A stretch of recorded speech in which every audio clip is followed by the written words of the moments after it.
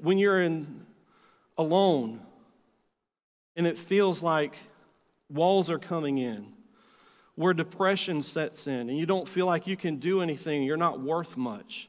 When it feels like there, whether it's uh, maybe you're, you're coming at age where things are slowing down on you and you, you just don't feel your worth. Maybe it's someone that has failed in, in certain areas in your life.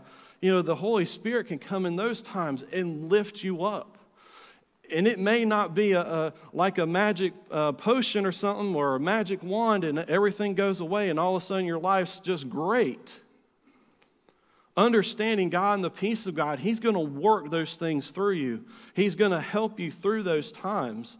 He's going to be there to, to not just bring a smile to your face. Peace is not, this picture of peace is, is, is not like the picture of peace like we sit there and uh, imagine us if the beach is your kind of place to be, laying out on the sand, enjoying the warmth of the sun and watching the waves come in and out and just kind of ah, relaxing and just saying, This is peace. Now, for me, that's irritating because I don't like sand in anywhere and the heat. It just doesn't get along with me. I'm a mountain guy. Send me to the mountains, sitting in the mountains, the rolling landscape, the trees, the nice cool breeze blowing, maybe a stream to walk through and cool you down a little bit more, and just relaxing.